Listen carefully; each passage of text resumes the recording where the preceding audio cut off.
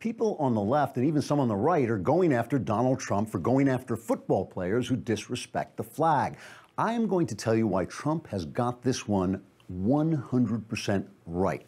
Plus, is the Pope Catholic? Some conservatives actually don't think so. Father Michael O'Knowles, who you remember from his role in Going My Way, will be here to discuss it all. And do you remember when Berkeley was the home of the free speech movement? Well, neither do they. We'll talk about what went wrong, but first, NFL football which used to be the most popular sport in America way back oh, about 20 minutes ago, is suddenly playing to half filled stadiums and getting much lower ratings on TV. I wonder. Could it be because some of us don't want to watch a group of muscle bound multimillionaires exercise their right to disrespect a flag for which many of their fellow Americans died so that millionaires would have the right to disrespect the flag for which many of their fellow Americans died?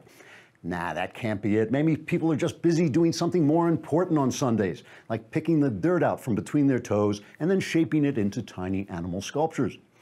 And what about the recent Emmy Awards? Another gathering of wealthy people, only here they get together and give each other statuettes for playing Let's Pretend. Then they stand at a podium and send a message to half of America that translates roughly to We hate you, you stink, get stuffed.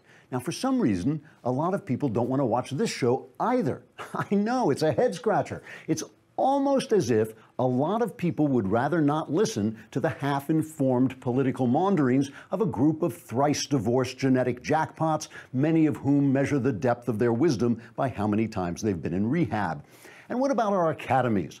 College attendance has dropped every year since 2010, and some colleges where raucous left wing demonstrations have taken place have seen their attendance fall as much as 35%.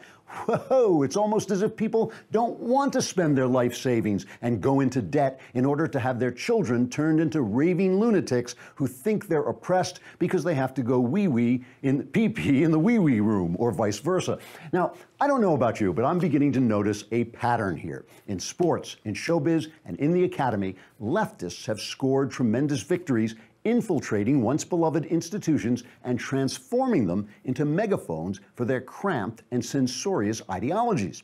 And in the aftermath of those victories, these once titanic institutions are shrinking and shrinking until soon the only person watching Stephen Colbert will be Colin Kaepernick. It's almost as if Americans have better things to do than to watch the most privileged people on earth indulging in champagne socialism and limousine radicalism while disrespecting the hard-working people who make their shabby little lives possible. Better things to do, like braiding their nose hairs or being free. Trigger warning, I'm Andrew Klavan. This is The Andrew Klavan Show.